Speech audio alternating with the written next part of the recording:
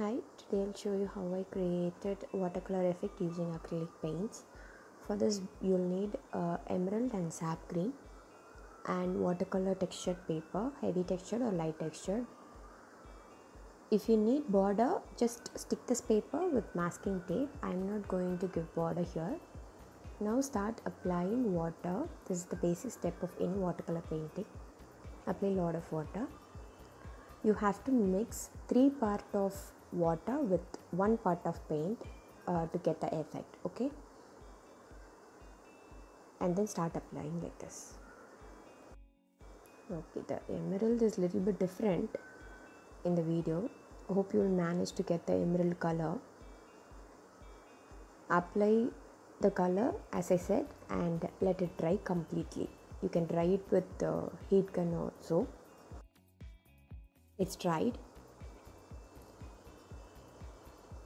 now take number 4 brush.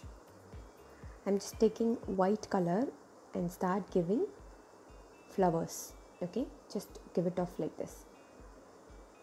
I usually start with flowers. Wherever i need i'm just giving it out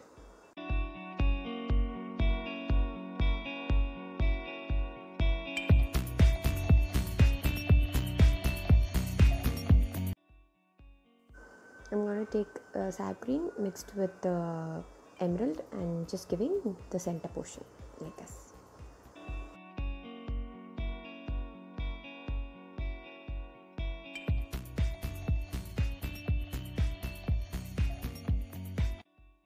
For the stem part, uh, I'm just taking uh, number 0 brush.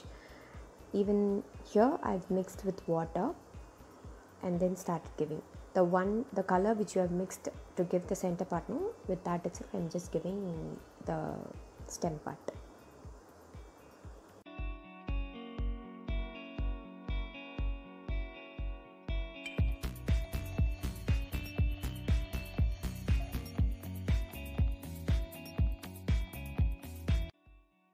I've taken white to give the moon like this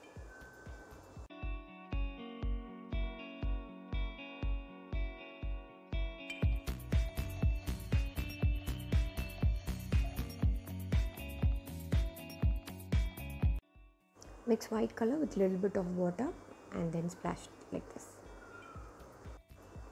Hope you all like this simple painting. Thank you for watching